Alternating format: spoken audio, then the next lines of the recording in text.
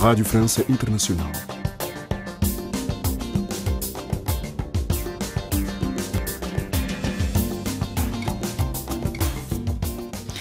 Abordamos agora a segunda parte desta emissão em que vamos ouvir o Magazine Ciência com Stephanie Palma, mas para já vamos ficar com os convidados de Carina Branco. Convidados. Em plena quinta vaga de Covid-19 e com o rápido aumento de casos devido à propagação da nova variante Omicron, a alta autoridade para a saúde francesa declarou, nesta segunda-feira, ser a favor da vacinação das crianças dos 5 aos 12 anos, mas considerou que esta não deve ser obrigatória. O ministro da Saúde já tinha indicado que as crianças se poderiam vacinar a partir desta quarta-feira. Trata-se de mais uma medida que se soma a outras anunciadas, como a transformação do passe sanitário em passe de vacinação para aceder a certos locais. Isto numa altura em que o governo francês revelou que foram detectados 182 mil passos sanitários falsos desde junho. Estas medidas serão suficientemente eficazes para lutar contra a nova variante da Covid-19 as respostas com o médico Daniel Silva, diretor do Serviço de Cuidados Intensivos do Centro Hospitalar de Saint-Denis, na região de Paris todas as medidas que permitirem diminuir o risco de contaminação e, e diminuir o risco de doentes são bem-vindas. Relativamente às crianças, a Sociedade uh, Francesa de Pediatria já se pronunciou uh, sobre o assunto e já uh, determinou as características das crianças que poderiam vir beneficiar da, da vacinação, nomeadamente crianças com patologias crónicas e com insuficiência imunitária. Ou seja, as outras não precisariam à partida. E as outras, em princípio, quer dizer, não precisariam, ou pelo menos a Sociedade de Pediatria estipulou mais uma vez que essa, essa, vacinação das crianças deveria ser orientada para certo perfil de crianças com patologias particulares. Ou seja, no fundo, no fundo estamos mais a obrigar a vacinação das crianças quando há adultos que continuam sem se vacinar, é isso? Eh, mais Ora para evitar a transmissão? Sim, efetivamente, a questão está certamente aí, não é? E efetivamente estamos a procurar uh, limitar no máximo e, e todas as medidas que permitirem limitar as contaminações, do meu ponto de vista, a medida principal passa, obviamente, pela vacinação dos adultos, quer dizer, adolescentes e adultos. Outra medida que hum, está agora a dar que falar é passar-se do passe sanitário para o passe de vacinação, ou seja, o teste negativo já não chega, é preciso uh, ter uh, a vacina contra a Covid-19. O que é que pensa desta obrigação? Uh, não, eu sou completamente a favor desse tipo de medidas. Temos que evitar evitar o risco do colapso do sistema hospitalar. E a, a maneira mais eficaz para o evitar, com o número de doentes hospitalizados, é a vacinação. E por isso todas as medidas que foram tomadas que permitirem incentivar e aumentar o número de pessoas vacinadas são medidas bem-vindas do meu ponto de vista. Certo. A questão é que o Governo adiantou esta segunda-feira que uh, cerca de 180 mil passos sanitários falsos foram descobertos Exato. desde junho.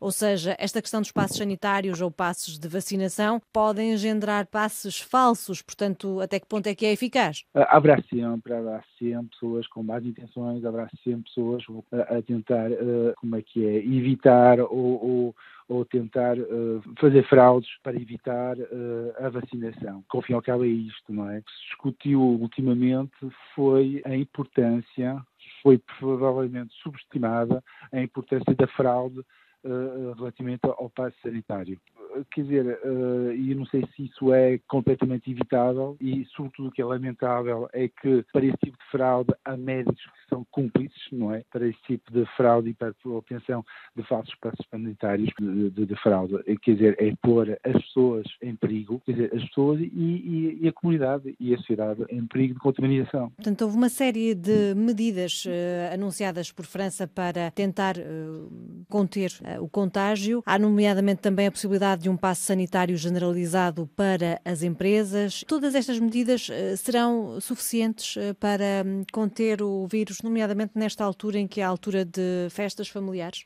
Ora bem, suficientes, não sei se serão suficientes. Não sei se serão pacientes, nomeadamente com risco do, do, do, da nova estirpe e do variante uh, Omicron. Como sabemos, o variante que é, é, extremamente contagioso, com uma taxa de replicação uh, muito mais elevada. Ora bem, isso leva-nos a questão não é, de tomar medidas mais drásticas para limitar as reuniões, reuniões familiares uh, e, e, até mesmo como é que é, medidas como no, novos confinamentos ou então um recolher obrigatório mais, mais cedo. Mais uma vez, estamos há quase dois anos desta pandemia, uma coisa que percebemos é que a pandemia tem uma dimensão de crise sanitária, eh, mas não só, há uma dimensão social e económica, evidentemente. E, e eu penso que está em mente, provavelmente, os nossos governantes é o risco social e o risco económico de eh, recorrer a medidas muito mais drásticas, que também têm consequências gravíssimas. Do meu ponto de vista, como médico, como responsável de um serviço de cuidados intensivos, o que eu temo, efetivamente, é uma crise do hospital e o risco de um, quer dizer, de um, de um, de um colapso do hospital, não é? Porque uh, neste momento não somente temos que fazer face há uma pressão crescente para uh, admitir doentes com Covid numa altura em que há uma crise igualmente em termos de recursos humanos, nomeadamente enfermeiros e paramédicos. Temos que lidar com esses problemas uh, de maneira conjunta e, evidentemente, que medidas mais drásticas têm que ser muito bem refletidas e têm que ser, têm, que ser muito bem pensadas. O governo francês quer também que os trabalhadores, em geral, passem a apresentar o passo sanitário à entrada da sua empresa, para além das profissões que já o fazem por estarem em contacto com o público. A proposta está a gerar alguma indignação junto dos sindicatos, para quem a medida não é eficaz. O sindicalista Nuno Martins, secretário-geral da CGT-RATP, considera considera que o Executivo quer só avançar com meias medidas em vez de dar passos maiores na luta contra a pandemia.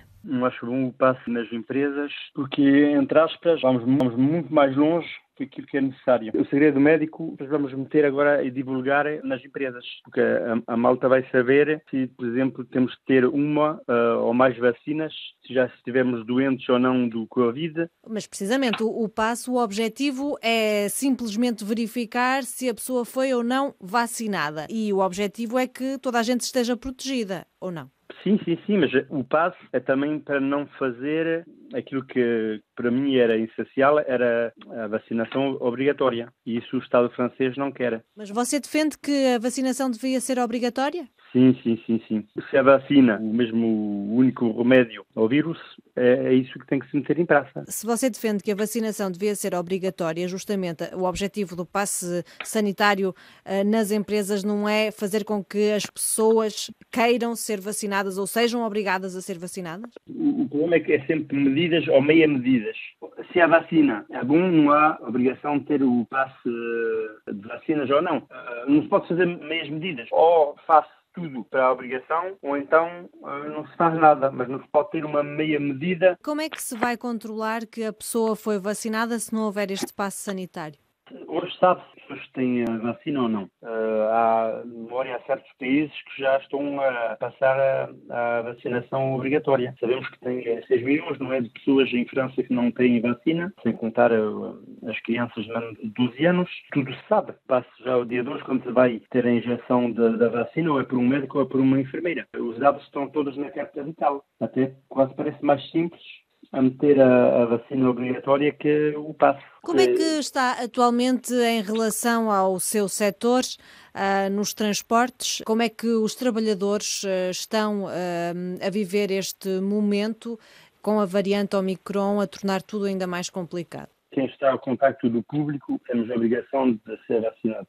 Então é, é muito mais simples. Mas é por isso que o passo na nossa empresa verdadeiramente vai ter ação. Depois, tudo que é agora reuniões desde o fina, princípios de dezembro, tudo que é reuniões, isso tudo na nossa empresa, por causa do, do variant, nós paremos, já não se fazem. Tudo que é tudo que é refeições de equipas, de malta que vai embora para a reforma, isso tudo parou. Voltou nos princípios de setembro e parou novamente nos princípios de dezembro. Quem anda de transportes públicos, por exemplo, em Paris, quem anda de metropolitano, uh, vê que uh, nas horas de ponta está absolutamente uh, cheio, está saturado de gente. Como é que se pode combater a variante Omicron e o contágio neste contexto em que os, os transportes públicos estão completamente saturados? para mim, a máscara, se limpar as mãos muitas vezes por dia, já é a primeira moda de um, combater a, difusão do, do, vírus.